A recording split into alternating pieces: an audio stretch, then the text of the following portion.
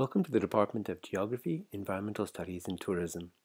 In the next few minutes, I will take you through a journey to discover more about what geographers do and how you might benefit from studying in our department. You might already have your sights set on being a geographer. If not, let me tell you a bit more about who we are and what we do. Firstly, geographers are interested in space and place. Geographers are also problem solvers. Are constantly asking questions and interrogating the why of where. Geographers love maps. We visualize spatial information, making it visible to the world. Geographers are scientists, crossing boundaries between the natural and the social sciences. We are interested in connections, particularly those between people and their environments. In other words, society and space. Geographers have been at the forefront of technological innovation and change, creating geographical information systems, GIS, that now form the basis of much of the technology we rely on every day. Are you still not convinced? Okay. Why should you study geography, environmental studies, and tourism then? Let's take a look. Well, geography answers questions about a variety of settlement patterns. Geography also helps us to understand the process and impacts of urbanization. And urbanization is both our current reality as well as our future.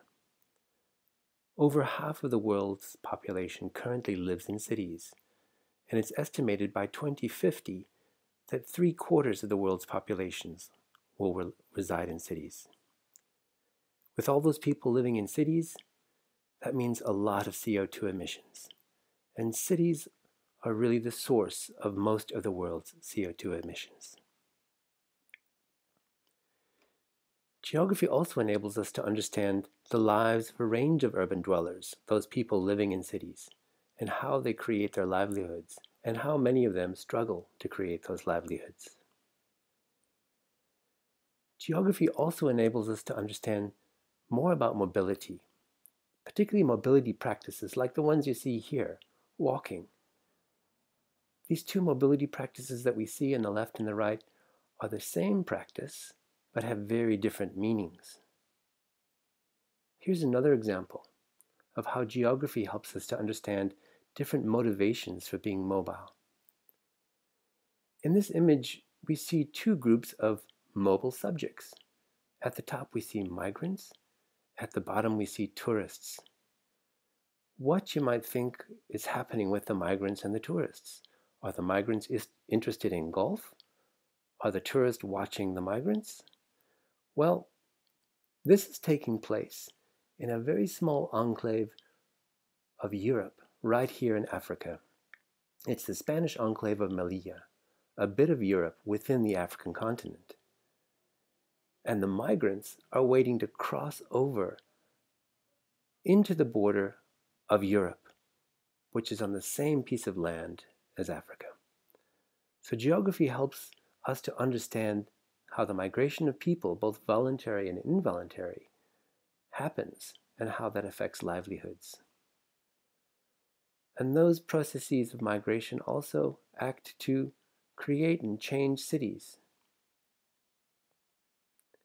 Geography also helps us to understand the cause and impacts of natural hazards, forest fires, and the like, and also understand the role of water in shaping society. Of course, we all remember what it was like back in 2017. Our department is unique amongst our peer departments in South Africa because we're located in the Faculty of Arts and Humanities.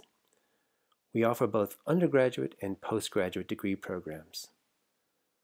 Let's see a bit more about our undergraduate programs.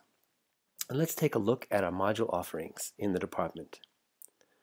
In the first year, all students enroll in GES 111, Introduction to Human Geography, and GES 121, Introduction to Physical Geography.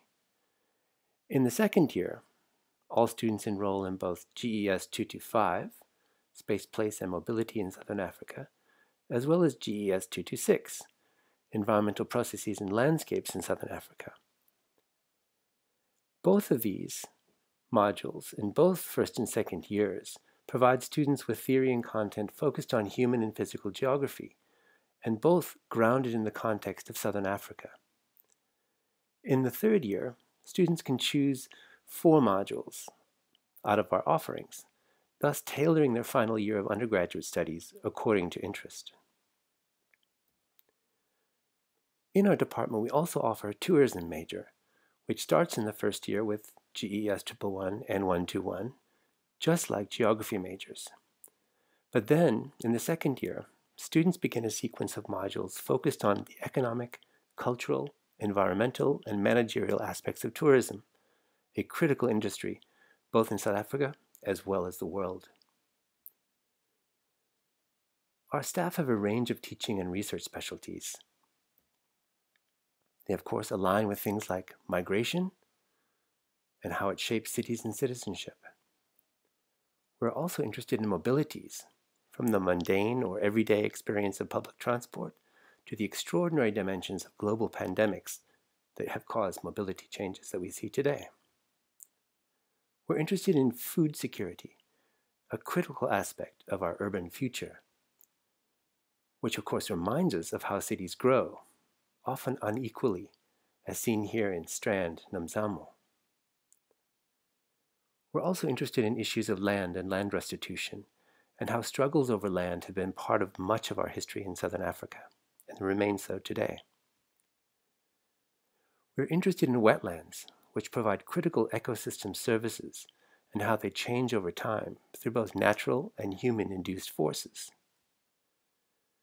We're interested in environmental management because we all know what it felt like in 2017 when Cape Town was set to be the world's first major city to run out of water. And we use the latest GIS technology to help us understand the world around us. And students can gain important skills for use in their professional lives. Students are mentored within the classroom setting by their lecturers and, of course, tutors.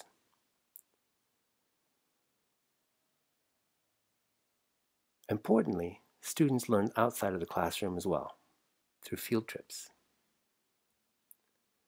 And of course, after graduation, have a variety of career opportunities. You can take your interest in geography, environmental studies, and tourism into postgraduate study or into a variety of careers, from teaching or lecturing to tourism and economic development in the private or the public sector.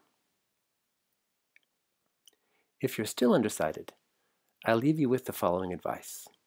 Keep calm and study geography.